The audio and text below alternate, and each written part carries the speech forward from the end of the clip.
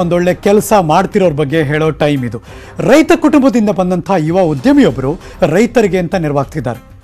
ದಾಬಾಸ್ಪೇಟೆಯ ಉದ್ಯಮಿ ಜಗದೀಶ್ ಚೌಧರಿ ರೈತರು, ನಿರ್ಗತಿಕರು ಹಾಗೂ ಕೋವಿಡ್ ಸೋಂಕಿತರಿಗೆ ಸಹಾಯ ಮಾಡ್ತಿದ್ದಾರೆ. ಇದುವರೆಗೆ ಸುಮಾರು ಇಪ್ಪತ್ತು ಟನ್ನಷ್ಟು ತರಕಾರಿಗಳನ್ನು ರೈತರಿಂದಲೇ ನೇರವಾಗಿ ಖರೀದಿ ಮಾಡ್ತಾರೆ, ನಿರ್ಗತಿಕರಿಗೆ ಉಚಿತವಾಗಿ ಹಂಚುತ್ತಾರೆ ಕಳೆದ ಹದಿನೈದು ದಿನಗಳಿಂದ ನಿರಂತರವಾಗಿ ಸೇವೆ ಮಾಡ್ತಿದ್ದಾರೆ. ಕೋವಿಡ್ ಸೋಂಕಿಗೆ ತುತ್ತಾದವರು ಹಾಗೂ ಸೋಂಕಿನಿಂದ ಮೃತಪಟ್ಟವರ ಕುಟುಂಬಕ್ಕಾಗಿ ಖಾಸಗಿ ಆಸ್ಪತ್ರೆಯ ಸಹಭಾಗಿತ್ವದಲ್ಲಿ ಆಕ್ಸಿಜನ್ ವ್ಯವಸ್ಥೆಯುಳ್ಳ ಮೂರು ಆಂಬ್ಯುಲೆನ್ಸ್ ಸೇವೆ ಒದಗಿಸ್ತಾ ಇದ್ದಾರೆ. ರೈತನ ಮಗನಾಗಿ ರೈತರ ಬೆನ್ನಿಗೆ ನಿಲ್ಲಬೇಕು. ಹಾಗೂ ಯಾವೊಬ್ಬ ನಾಗರಿಕರು ಕೂಡ ಸೋಂಕು ಮತ್ತು ಹಸಿವಿನಿಂದ ಸಾಯಬಾರದು ಅಂತ ಈ ಕಾರ್ಯಕ್ಕೆ ಮುಂದಾಗಿದ್ದಾರೆ.